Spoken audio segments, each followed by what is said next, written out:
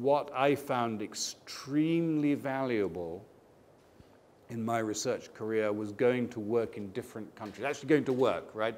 Either a, a short collaboration or a longer training period or teaching teaching foreigners because this gives you a different perspective. And very often it's really really helpful.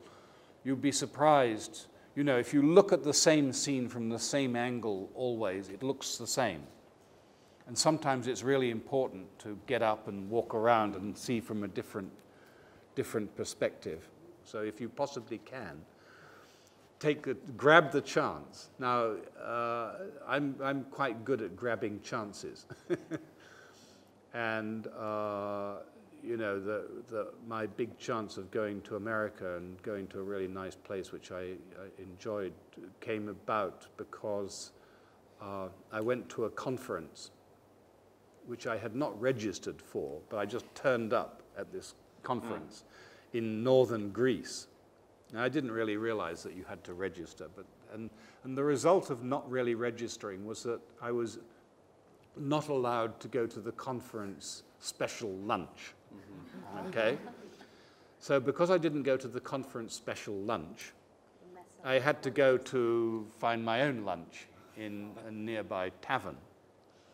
So, I had a very nice lunch, and I had quite a lot of Greek wine to drink with my lunch. Okay? And so I got a little bit tipsy. And it just so happened when I came out from this drunken lunch that I ran into this guy, Irving London, who was going to be my boss in the future. And he said to me, Tim, uh, what are you going to do when you've finished your PhD? So I said to him, to hell with my PhD, couldn't I come and work in your lab this summer? Because I was emboldened by the wine, I would say. and he said, Oh, what a good idea. With. And then I took a very slow train back to England through Yugoslavia. It went at about 15 miles an hour with chickens and goats and things. It was very primitive. Uh, and by the time I got back to Cambridge, there was a ticket to go and work in New York, you know, waiting for me. So it was great. So that was a good example of uh, completely unplanned